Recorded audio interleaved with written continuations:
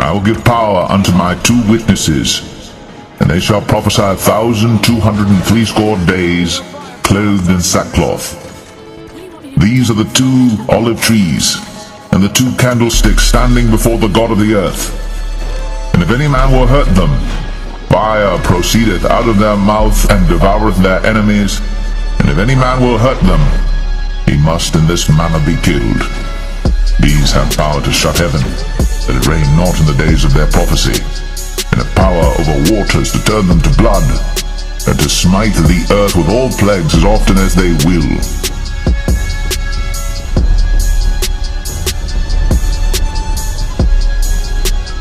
Saints of the Most High shall take the kingdom and possess the kingdom forever, even forever and ever.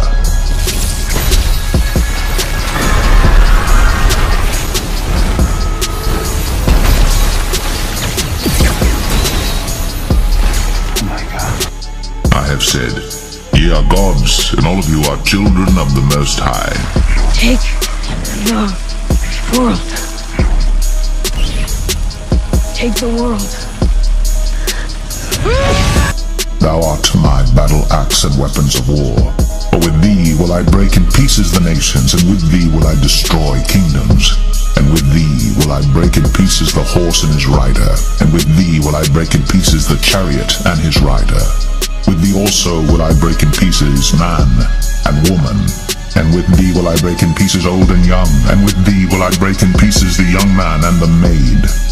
I will also break in pieces with thee the shepherd and his flock, and with thee will I break in pieces the husbandman and his yoke of oxen, and with thee will I break in pieces captains and rulers, and I will render unto Babylon and to all the inhabitants of Chaldea all their evil that they have done in Zion in your sight, saith the Lord.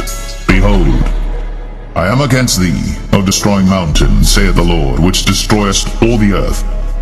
And I will stretch out mine hand upon thee, and roll thee down from the rocks, and will make thee a burnt mountain.